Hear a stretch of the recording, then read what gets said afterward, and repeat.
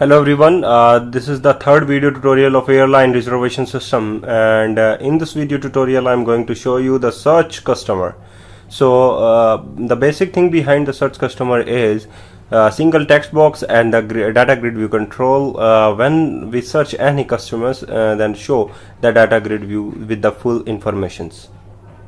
So add a form control and that is the search customer and add a single text box and the data grid view control on the form control. Okay. The text of the control will be changed. Also the customer name. I want to search uh, according to the customer name. And uh, drag a simple data grid view control on the form. Properties of the text control is with the text change event also there is lots of event is there. Like uh, key down key press key up key layouts.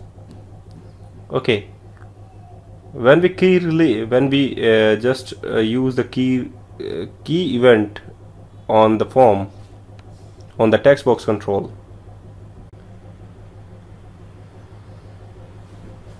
Use this it's very easy. When we use enter some text uh, control becomes the active control. When the uh, control is active then uh, you can write the, some uh, event handling code on it. Key press is there. Occurs when the uh, when the control has focus and user press the release key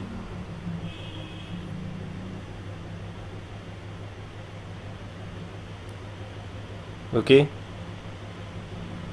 So first of all bind the control uh, the search customer load on the uh, form load. So I want to bind with the all uh, data. So use the data context class airline db entities. Airline db entities with the db equals to new airline db entities. There is a context class. Db dot customer details.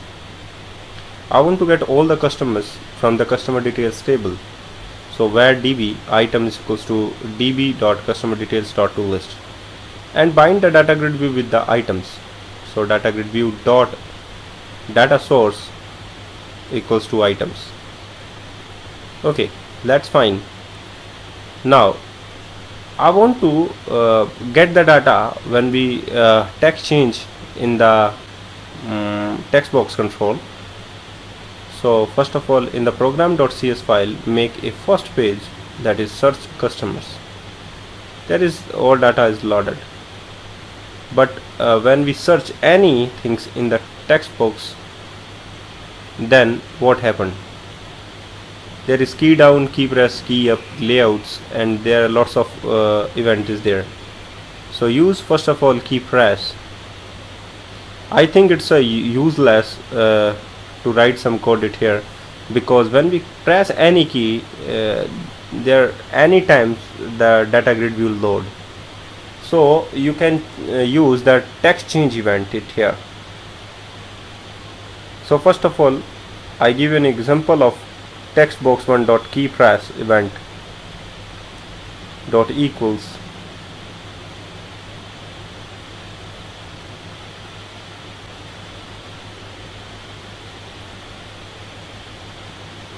textbox1 dot text dot to list.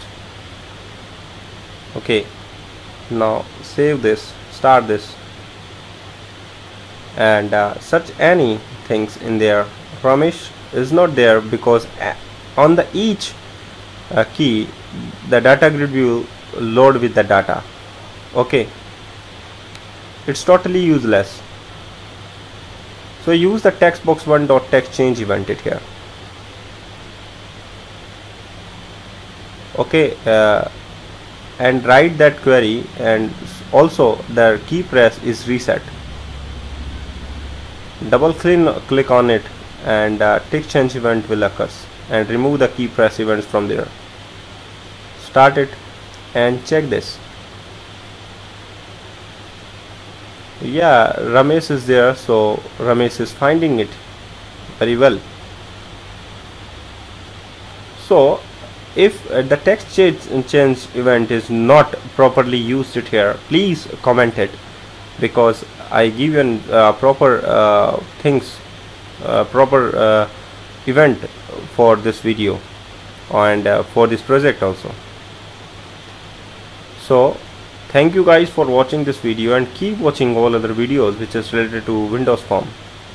And guys I promise you I will provide you better video tutorials of all things projects all which is related to all projects and many other projects uh, projects and Windows uh, concepts in uh, Windows form.